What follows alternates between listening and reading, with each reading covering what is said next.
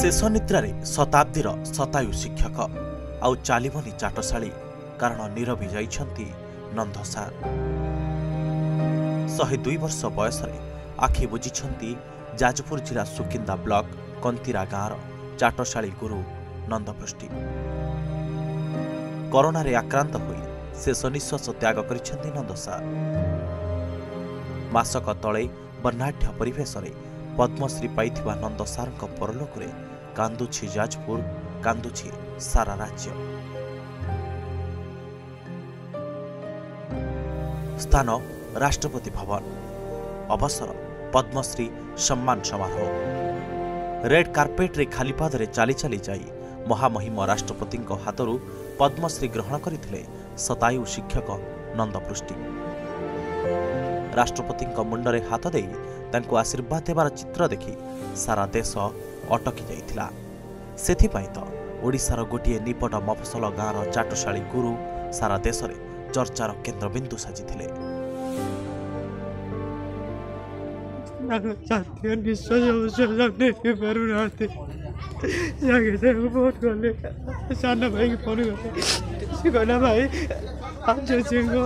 କଟିକି ଦୁଇ ଘଣ୍ଟା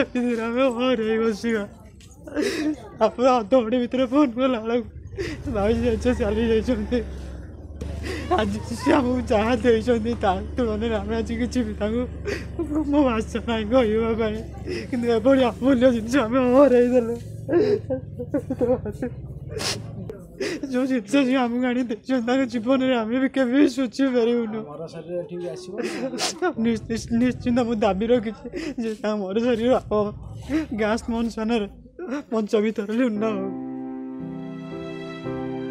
ଆଜି ସେହି ଗୁରୁଙ୍କ ପରଲୋକରେ ଅବାକ ହୋଇଯାଇଛି ସାରା ଓଡ଼ିଶା।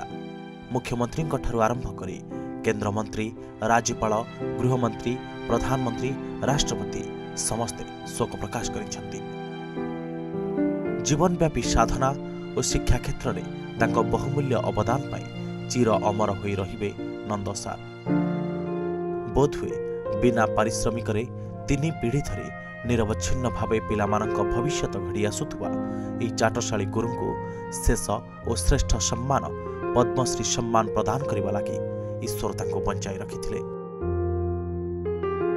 କୁହାଯାଇପାରେ ଏ ଜାତି ଆଜି ହରାଇ ଦେଇଛି ଆଉ ଜଣେ ଯୋଗଜନ୍ମାଙ୍କୁ ଜଣେ ଯୁଗ ପୁରୁଷଙ୍କୁ ବ୍ୟୁରୋ ରିପୋର୍ଟ ସ୍ୱାଧିକାର ନ୍ୟୁଜ୍।